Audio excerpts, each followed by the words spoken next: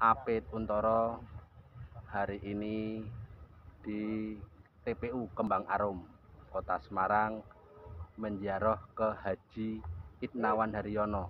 Beliau ini adalah mantan Kepala Dinas Perhubungan Kota Semarang. Beliau ini adalah senior kami. Masa hidupnya beliau itu orangnya baik pada saya. Masa hidupnya dalam tugas beliau adalah orang baik bagi Apit Untoro inilah Apit menjarah ke makam beliau. Walaupun walaupun ini hujan tetap kami semangat bersama-sama.